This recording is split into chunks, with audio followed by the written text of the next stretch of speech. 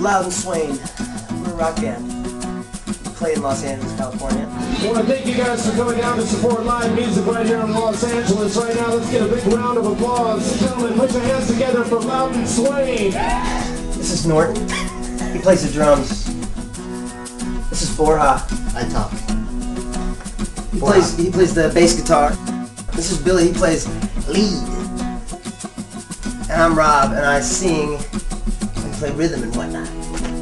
And uh, I'm fucking free balling it. The songs tend to be a lot about um, our own experiences and just about the stuff that we've gone through. Like we wrote a lot on this record about uh, about like dealing with crappy bosses and, and uh, dealing with relationships and that kind of thing. So it's like try to try to write from actual experiences. We try to write music that like would have the listener saying like, oh yeah, that, that happens to me. That, that totally fucking happened to me last week. And you know, with a little bit of a sense of humor, kind of a dark, edgy sense of humor about it.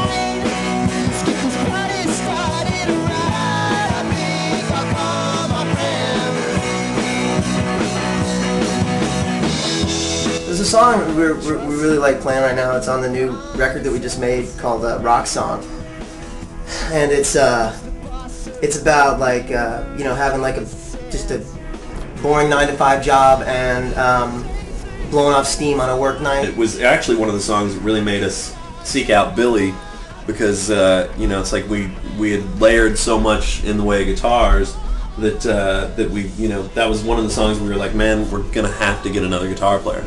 So that was like that was sort of the catalyst that brought Billy over to us as well. So. A few months ago, we entered this contest, and uh, the contest was write a song for the upcoming movie Snakes on a Plane, and we're gonna be on the soundtrack to Snakes on a Plane.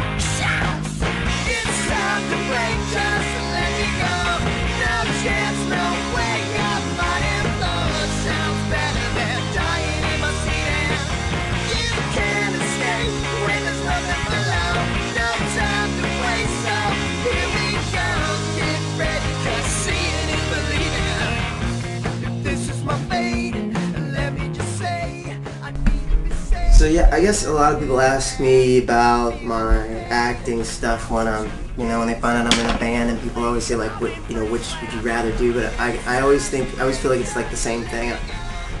It's all just sort of an extension of, I guess, being an artist. That I don't know if that's, is that, is that, yeah? I don't want to be like, and I'm in a movie. Little movie you might have seen called uh, Go- Google me, Google me.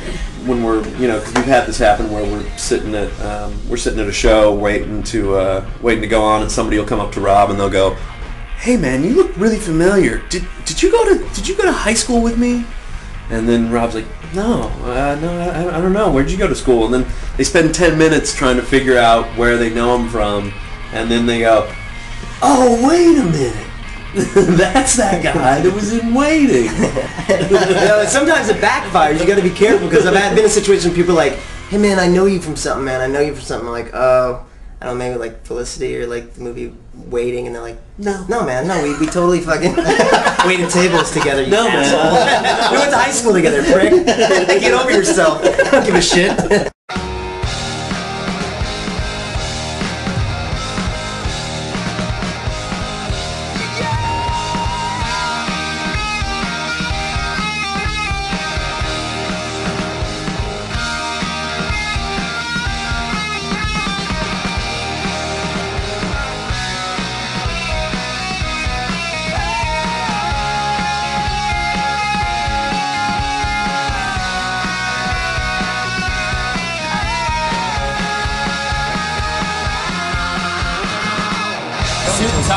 Get it today.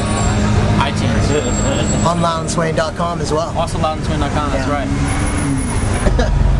Uh, so let's go get drunk. Get drunk. Who's drunk already? Anybody?